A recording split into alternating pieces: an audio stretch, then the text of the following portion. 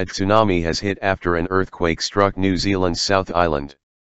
The U.S. Geological Survey said the magnitude 7.8 quake hit just after midnight, 11.02 GMT on Sunday, some 95 kilometers, 59 miles, from Christchurch.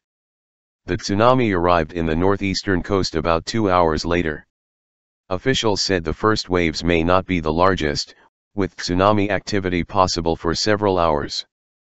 Residents were warned to head inland or for higher ground along the coast.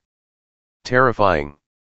A gauge at Kaikoura, 181 kilometers, 112 miles, north of Christchurch, measured a wave of 2.5 m, 8 feet 2 ins, according to weatherwatch.co.nz.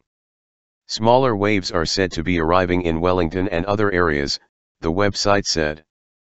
But the Ministry of Civil Defence has said the highest waves, which could be as tall as 5 m are expected between Marlborough, the northeastern tip of the South Island, and Banks Peninsula, just south of Christchurch. Residents in the Chatham Islands, an archipelago 423 miles, 680 kilometers, southeast of the mainland, were also being warned a wave would hit imminently by the civil defense. Thousands of people have already evacuated their homes as aftershocks continue to hit the area, Radio New Zealand reported. Others have taken to social media to offer people a safe bed for the night. New Zealand lies on the notorious Ring of Fire, the line of frequent quakes and volcanic eruptions that circles virtually the entire Pacific Rim. Christchurch is still recovering from the 2011 earthquake that killed 185 people and destroyed the city centre.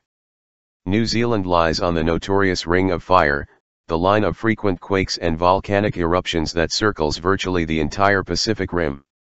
Christchurch is still recovering from the 2011 earthquake that killed 185 people and destroyed the city centre.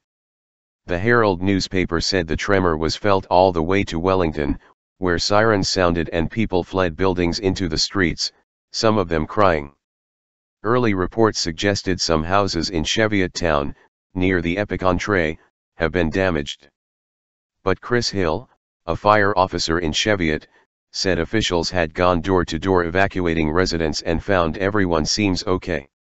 He told Radio NZ, there's a lot of debris in houses, but at this stage it doesn't look like anything too bad has happened. A resident of Christchurch said the tremor lasted a long time.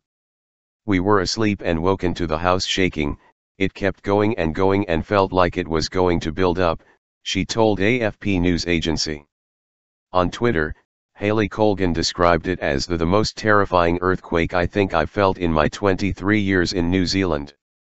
A magnitude 7.1 quake struck 169 kilometers, 105 miles, northeast of Gisborne on the North Island in September, sparking a tsunami warning.